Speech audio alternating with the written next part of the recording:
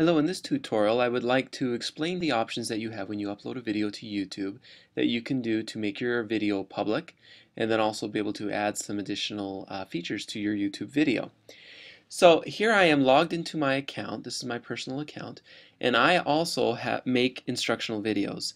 I work with science teachers and we take them on science trips and then at the end I make a video to help them remember some of the things that they learned and the experiences that they had. So much like you, I, I need to make instructional videos. Here is a video that I made for a trip that we took to the Great Basin, which is what GB stands for. And you can see that this video right now is set to private, so if I were to embed this into my Google site, it would not show up for anybody to be able to see it. So the way you would fix that is you go under Edit, and here's the basic info. Here's where I could change the title. In fact, I'm going to do that right now, make it a little bit better. You can add tags, change the category, and here you would change the privacy setting to make it either unlisted so that people can't even find it. Private is they can find it but they can't view it, or public. I'm going to make it public.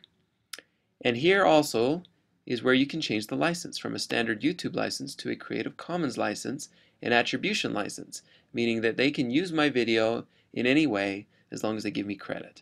And I think that's fine. I like that. So I'm going to do that and save the changes. Now there are some other things you can do as well here in the YouTube uh, Video Manager. You can go to Enhancements and here you can, uh, much like you can with, with uh, photos, you could apply like a grayscale or some other kind of thing and you can see how it would change your actual video if you chose to do that. I'm not going to do that. I'm going to revert to my original. You can also go to audio and here are a selection of audio tracks that um, have been copyright cleared by the art artists and you are fine to use these tracks in your video. So the way you would do that is uh, you would you could make a video and then pick one of these tracks and if you were to select it then let's like Moonlight Sonata if I were to pick Moonlight Sonata you can hear my video as it would sound with the Moonlight Sonata.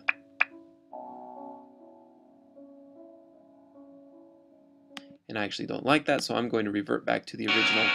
And I would encourage you most of the time it makes better sense to find some music through freeplaymusic.com or some other source and put that music into your video in your video editor such as iMovie or Movie Maker because that way you can make sure it fits right and that it, it matches the photos correctly and isn't providing a, a weird kind of mood than what you were intending. Because if you pick one of these songs all you can do is pick that it plays. You can't really uh, adjust too much and edit too much what happens with it after that, like you can in a, in a video editor.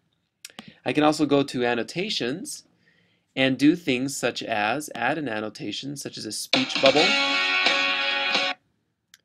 Speech bubble right here. Or I can add a note.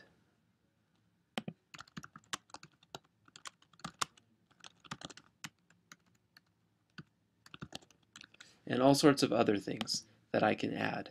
Um, the ability for uh, uh, spotlighting, so you could have uh, a light kind of shine in on a particular character during a particular moment of the video, adding titles and other things that you can go and explore. Captions is just for you to upload a transcript of your video. So for example, if you had made an instructional video explaining a physics calculation, if you're a physics teacher, then or some other explanatory kind of video where you're explaining things to your students. You may want to also upload a transcript of exactly what you're saying in the video so that if people choose to read it, maybe they can read it faster than they can watch it, or if they um, have are hard of hearing or have some other kind of uh, learning dis disability, that maybe it's easier for them to read things than to, to focus on the video, that the transcript is there and something that they can use. After you're all done, just make sure you uh, click on, um, on uh, the save buttons and then you can go back to your video page and be able to see how it looks. You can see that my video is now public. And that's how you adjust things in YouTube.